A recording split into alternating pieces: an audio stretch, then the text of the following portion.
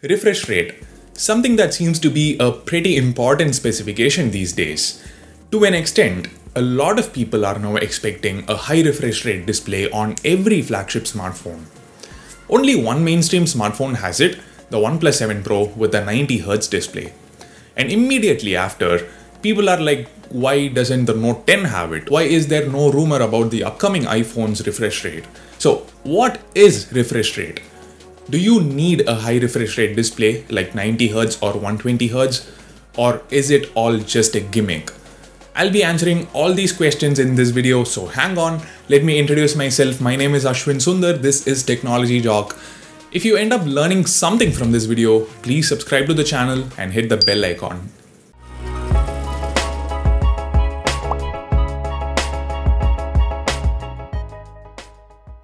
Guys, there is a very important, interesting test result I'd like to show you at the end of the video.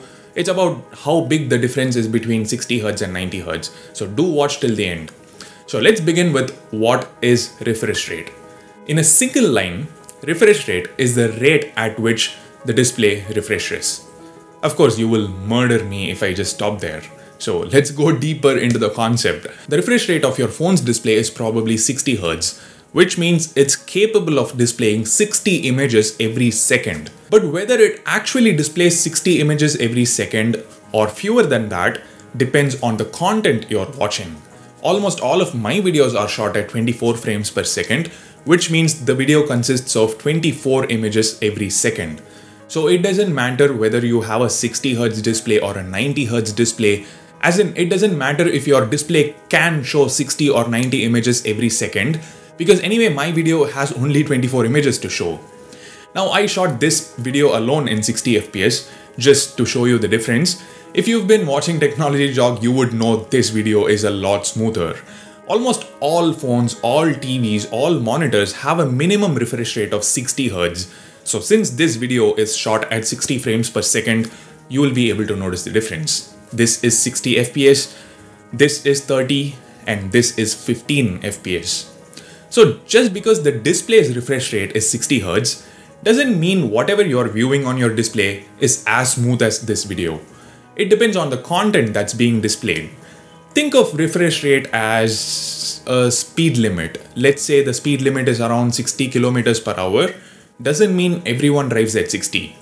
Okay, that was a bad example. Give me another chance. Let's consider a tap, or even better, a water pipe, a, a tube You've seen small tubes in hospitals used in drip kits like this. You've seen large pipes as well, at your home probably. Let's just say the speed of the water flow is constant. It doesn't change. Now the large pipe can carry a huge amount of water. It is capable of carrying a lot. But it doesn't mean it always carries that much water. The amount of water it actually carries depends on what the pipe is being used for. If the pipe is used at home, when you take a shower, the pipe won't really carry that much water. Uh, it would probably be a few liters every minute. But if that same pipe is used to drain a huge tank, obviously it will carry much more water. Similarly, when it comes to refresh rate, let's say you have a OnePlus 7 Pro, it has a 90Hz display. But most of the content that you're consuming don't display 90 images every second. For example, the maximum frame rate supported by YouTube, Netflix, Amazon Prime, etc. is 60 frames per second. So it doesn't matter if you're watching Netflix on a 90Hz OnePlus 7 Pro or a 60Hz iPhone, it's gonna be the same experience, the exact same experience. So, what kind of content can actually make use of the high refresh rate? Number one, the user interface. Number two, some commonly used apps. Number three, some games. On PCs, games can even run at 240 FPS, but on smartphones, currently only a bunch of games support 90 and 120 FPS. The list has a few popular games, but also misses some other ones. PUBG, for instance, doesn't support 90 FPS gameplay. Check the description for the list of games that support high refresh rate.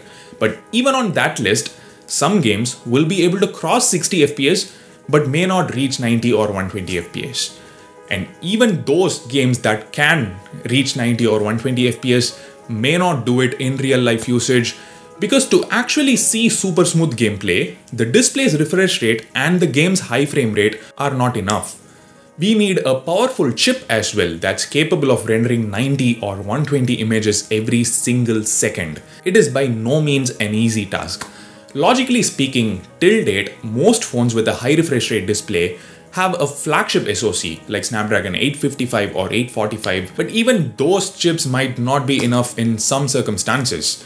Remember, PUBG gameplay at HDR graphics setting plus extreme FPS, which is 60 FPS, is quite good. But if you play for a long time, say 1 or 2 hours, you'll start noticing some lag, minor lag, not a big deal, on some phones. But imagine doubling the frame rate, 120 FPS instead of 60 FPS. The 855 chip is still capable, but generally, if you play continuously for more than 15 minutes at 90 or 120 FPS, the chip is at its peak performance and the phone tends to heat a lot and eventually the chip will throttle. Throttle as in to avoid the phone from getting too hot, to avoid the phone from getting damaged, the chip slows down and you will start seeing stutters in the game.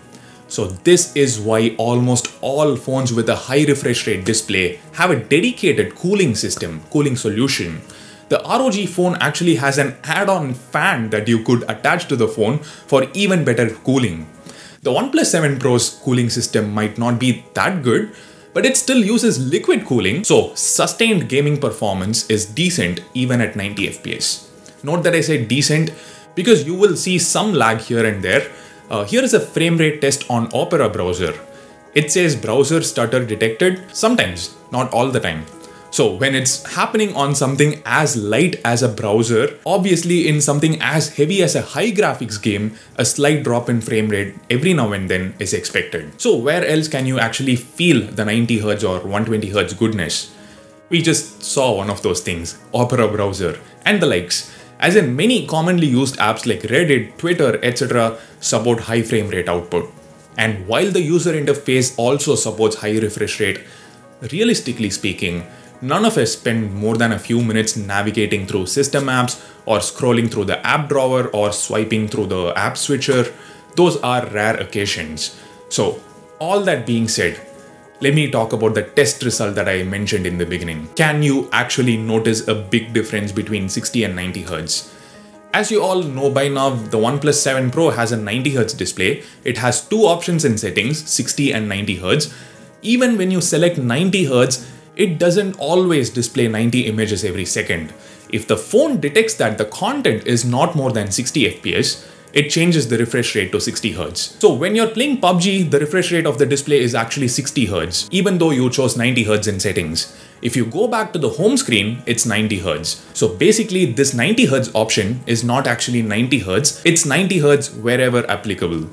Now Google Chrome initially supported 90 Hz, but for some weird reason, after a recent update, it supports only 60 Hz now.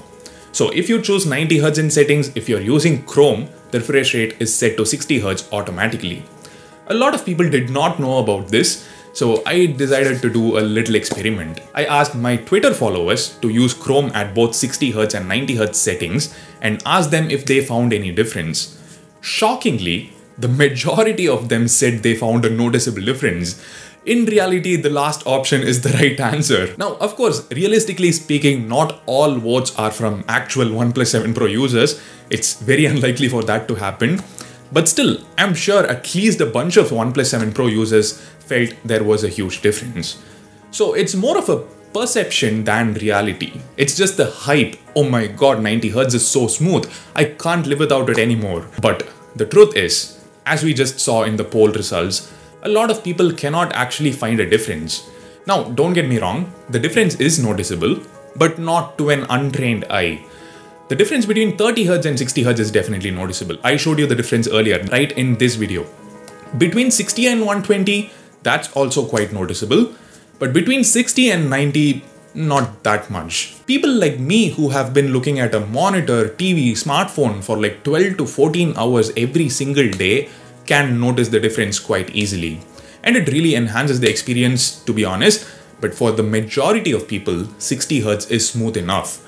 Maybe if people use 90 Hz for a long time and then try 60 Hz, they'll notice the difference and they may not like 60 Hz anymore. Now, you may ask, what's the big deal? Higher the refresh rate, the better it is. It doesn't matter if we don't notice any difference sometimes.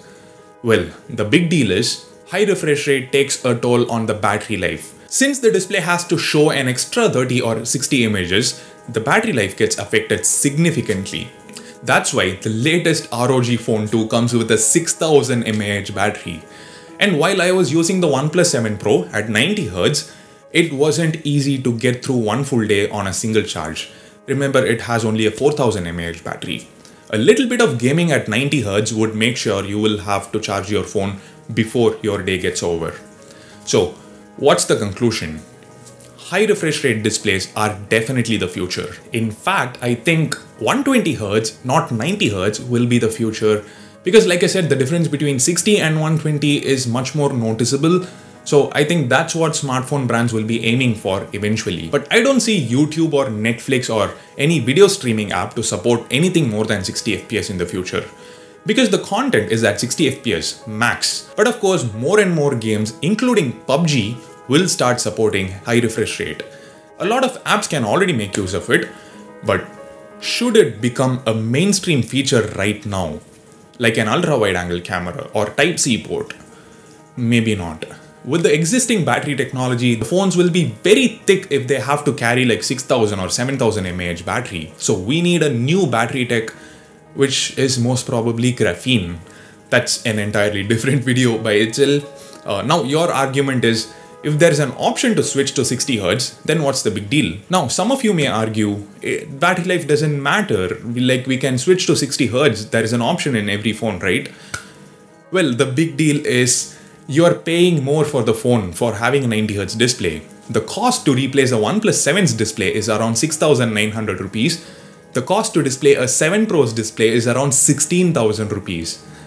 Of course, the curved nature of the display has to be taken into account too, but high refresh rate displays are more expensive and you're paying for that whether or not you're using it to its full potential.